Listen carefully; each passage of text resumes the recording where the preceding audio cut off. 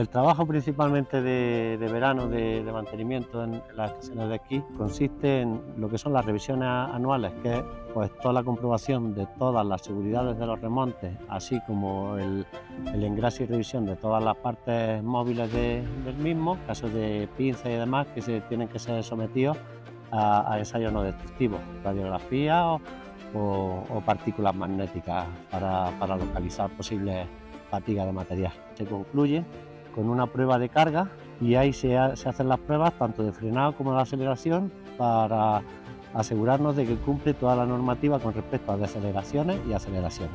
Eh, la prueba consiste en cargar todas las sillas y poner el remonte a su máxima potencia. ¿no? Lo que hacemos a continuación es haciendo las paradas con todos los sistemas de frenado del telesilla, simulando los problemas que pueden surgir en invierno. Aquí las borrascas fuertes siempre entran de suroeste. Según la altura que, le demos al paraviento y, la, separación del suelo, ¿qué conseguimos con esto? Que toda la nieve que va entrando aquí a la pista se vaya acumulando donde nosotros queremos que se acumule, se la puede dejar más cerca o más lejos. Hola, soy Carmen del departamento de pistas y la función que tengo hoy es la delimitación de, de fuera de pista tiene unos palos amarillo y negros que son los que la delimitan. Entonces lo que hacemos es enderezarlos los que están mal, los que están en mal estado los cambiamos por otros y ahora ya le voy a meter piedras para que se quede bien sujeto.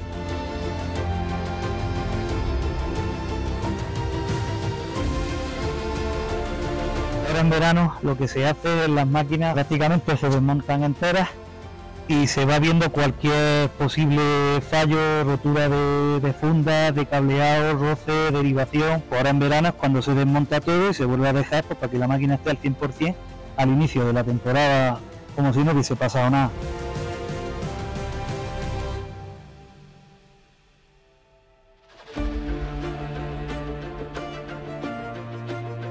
En invierno el trabajo de socorrismo y el verano el trabajo de cursos de remonte mecánico. Pues hoy lo que habéis visto han sido unas prácticas de rescate en el telecabina al en el cual lo que están aprendiendo mis compañeros es a deslizarse por el cable, a entrar dentro de la cabina y a evacuarla. Todo el servicio de pistas tiene que pasar por estos entrenamientos y los entrenamientos son obligatorios anualmente. Pero a día de hoy jamás se ha hecho una intervención nuestra, se ha hecho intervenciones mínimas y ya te digo, los remontes mecánicos que tenemos son de última generación, en los cuales tienen mucho seguro, muchos sistemas de seguridad y es prácticamente muy difícil que nosotros tengamos que salir.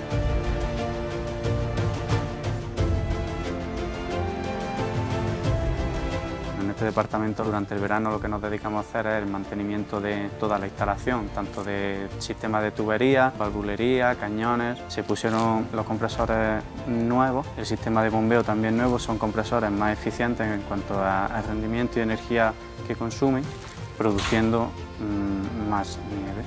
Y bueno, básicamente tenemos que dejar toda la instalación a punto para que cuando llegue el mes de noviembre podamos empezar a hacer nieve en el momento que las temperaturas sean bajas. Bueno, pues soy Miguel Caballero, soy el encargado de la reparación y la construcción de módulos nuevos para el Snowpark de aquí de Sierra Nevada. Y estamos construyendo los módulos, digamos, que creemos que nos hacían falta para esta temporada que viene. Todos estos son los que ya teníamos, que ya están reparados y preparados para, para ordenarlos. Este cajón lo hicimos el año pasado y funcionó bastante bien, entonces este año hemos incorporado un rainbow y un doble rainbow, ¿vale? Que va toda línea en la parte derecha. Nuestra idea es tenerlo acabado para finales de septiembre y una vez que esté todo acabado, la idea es dejarlo ordenado y almacenado de forma que sea fácil la, colocación, la construcción luego cuando ya esté en invierno. Están haciendo muchas cosas, tenemos que hacer los trabajos de restauración, de mejora de la flora, de la biodiversidad y en este caso nos encontramos viendo una línea de aspersión y se van a realizar una hidrosiembra y otras técnicas también de siembra manual. Cuando una planta eh, está en una zona que se va a ver afectada por una obra, pues se coge y se trasplanta en un lugar lo más cercano posible con la intención de que regenere y bueno, se incorpore a la comunidad que hay en el entorno inmediato.